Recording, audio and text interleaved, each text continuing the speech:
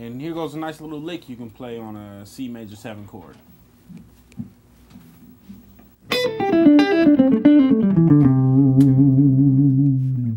Once again.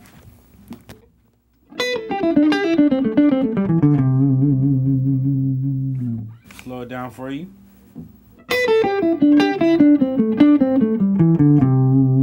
What are those notes broken up? I know these guys are advanced, but still. Okay, um, you're starting on a high B, A, G, E, D. Then you're gonna go back up to G, then E,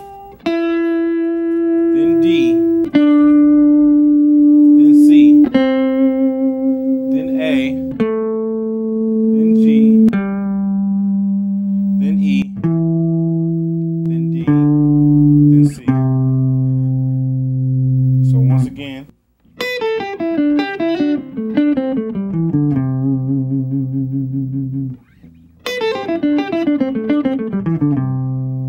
How does that sound in real world use?